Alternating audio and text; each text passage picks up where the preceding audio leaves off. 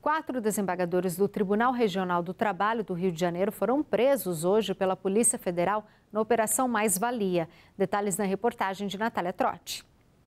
O cientista político Teófilo Rodrigues destaca que, de acordo com o Ministério Público Federal, os quatro desembargadores do Tribunal Regional do Trabalho do Rio de Janeiro, que foram presos, teriam beneficiado integrantes do esquema criminoso supostamente instalado no governo Wilson Witzel. Para os procuradores, esse núcleo de desembargadores beneficiaria as organizações sociais, as OS, que tinham valores a receber do Estado por serviços prestados em anos anteriores, os chamados restos a pagar.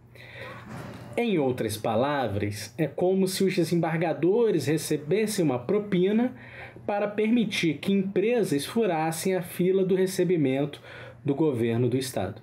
A ação de hoje é um desdobramento da operação que afastou o então governador Wilson Witzel em agosto de 2020, diante da crise dos gastos na pandemia.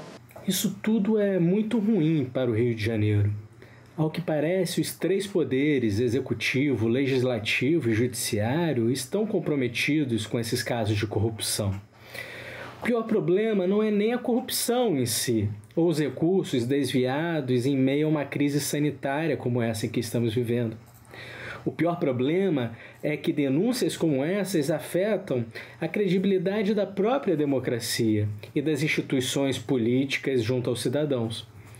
E, num ambiente em que a democracia falha, quem reina é o autoritário Deus Mercado, em detrimento da sociedade. Natália Trotti para a Rede Vida de Televisão.